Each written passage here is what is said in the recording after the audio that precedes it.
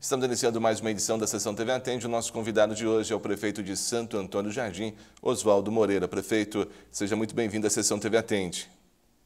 Muito obrigado, João. Prefeito, Santo Antônio Jardim volta a realizar depois da pandemia um dos eventos mais tradicionais da região, que é o desfile de cavaleiro. Como estão os preparativos? Com certeza, João. A gigante voltou. Após 20 anos de, de festa, né? um evento que entrou no calendário cultural do estado de São Paulo. E a programação tá completa está na nossa, no nosso Face, né? Nas redes sociais. Mas eu vou dar um resumido aqui, tá, João? Na sexta-feira e no sábado a partir das 19 horas. No domingo a partir das 11 horas. Dia 13, o show é os Prata da Casa, Otávio Henrique e Mari Dedé. Dia 14, Felipe Falcão e também William Altieri. E no domingo, dia 15, o encontro de Cavaleiros e Amazonas, show com Douglas e Vinícius. Prefeito, esquema de segurança, organização, como está todo o evento, barracas? O, João e, todos os telespectadores, a gente teve muito cuidado, eu e meu vice, Thiago Kraus, tivemos muito cuidado para ter marcado essa festa. A gente até protelou um pouco por conta da pandemia, mas não podia deixar de fazer uma festa tão importante, que já tem uma tradição de 28 anos. Então a gente me preparou muito. Prefeito, vice-prefeito e toda a equipe de apoio. E realmente a gente, após uma pandemia, alguns anos sem sair de casa, estamos esperando, principalmente preparando para essa festa. Então, realmente, a gente colocou algumas restrições para o bem-estar da família jardinense e de toda a região e todos os participantes da festa, João. A gente teve o cuidado de, de os animais, os animais, após o desfile, será terminantemente proibido os animais pela rua. Tá? Quem puder levar os animais já para casa dele, para já levar para as casas. Quem não tiver essas condições, nós vamos ter um piquete reservado para que as pessoas deixem os animais lá com bastante cuidado. Falando em animais, João, a gente teve o cuidado também de colocar um standard com dois profissionais veterinários e dez estagiários para estar tá cuidando, se caso vinha acontecer alguma coisa com os animais, isso é inédito, tá? Fazer com que já, já faz o primeiro socorro imediatamente com os animais, João.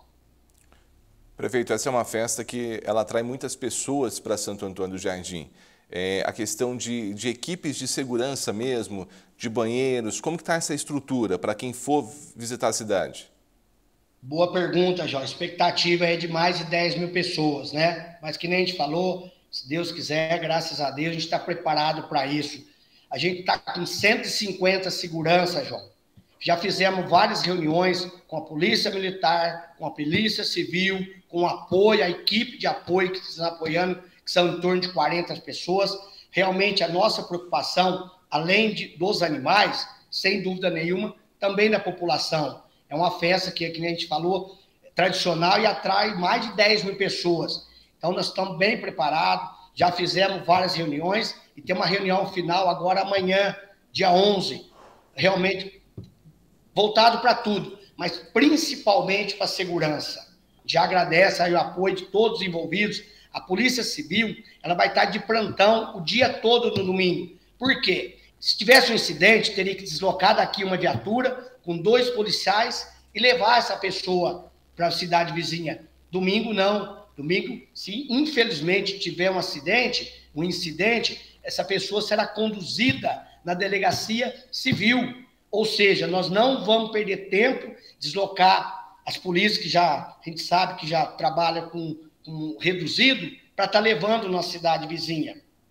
Uma outra coisa importante também, família jardinense, todas as pessoas que estão preparando para vir aqui, vai ter uma ambulância UTI no dia, com médico, com médico, enfermeiro e a ambulância, para que se infelizmente algumas pessoas passarem mal, não precisa, o primeiro socorro vai ser na cidade com o médico. Também não vamos ter que se deslocar para a cidade vizinha para estar tá atendendo essa pessoa.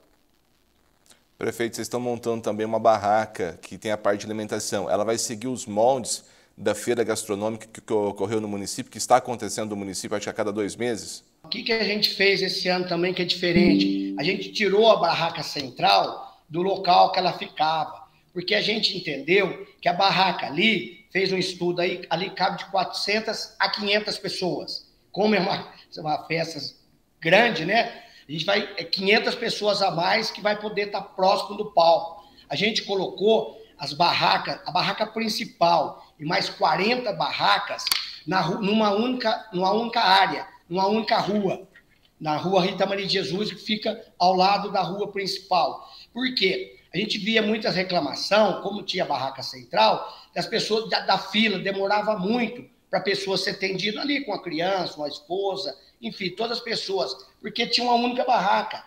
Graças a Deus a gente trouxe também as barracas da feira, as duas feiras que nós fizemos gastronômico, foi um sucesso, enfim. A gente trouxe praticamente 40 barracas para compor a, a, praça de alimentação nossa.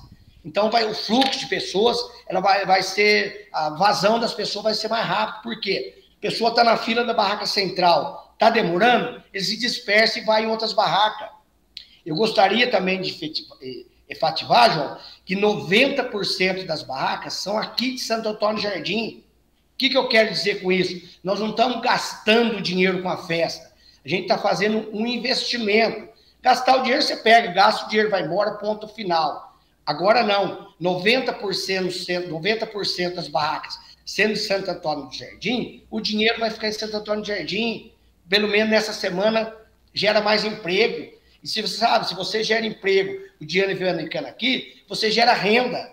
Se você gera renda, tudo indica que a economia de Santo Antônio Jardim tende a crescer. Então, população, nós não estamos gastando dinheiro, nós estamos investindo dinheiro e o dinheiro, uma boa parte desse dinheiro, vai ficar em Santo Antônio Jardim. A festa também movimenta o comércio local, né? Sim, sim, boa, João. Além, lógico, das barracas do dia, o comércio local, todo o comércio local, eles ficam esperando essa festa. É lógico que no dia a dia, no mês a mês, tem um movimento normal de qualquer cidade, inclusive nós estamos falando de Santo Antônio do Jardim mas nesse dia, os comerciantes ficam esperando essa festa, João. Então, realmente, ela se transborda, ela é muita. Enfim, o comércio local ganha muito com isso. Prefeito, é, só para reforçar o convite para toda a comunidade, é, nesse final de semana é o desfile de cavaleiro, atração sexta, sábado e domingo. Toda a comunidade está convidada. Sim, João, lógico, Santo Antônio Jardim, toda a região, já é uma tradição essa festa. Vem pessoas de várias cidades, inclusive cidades bem longe daqui, então todos estão convidados. A gente fez de tudo para fazer que seja a festa muito bem organizada, muito bem preparada, porque a gente sabe que dois anos em casa, né, a pessoa vai vir na festa e nós estamos preparados para isso. E a gente pede, né, que a população, as pessoas vêm realmente para participar da festa, para usufruir da festa, para gostar da festa. A gente sabe que qualquer festa pode vir a causar alguns acidentes, mas que a gente pede a colaboração de todos que realmente venha para festejar, venha para participar, que tome cuidado.